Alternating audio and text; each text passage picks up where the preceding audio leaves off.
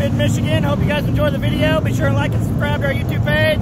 We're going to take a pace lap with these uh, Outlaw Super Late models.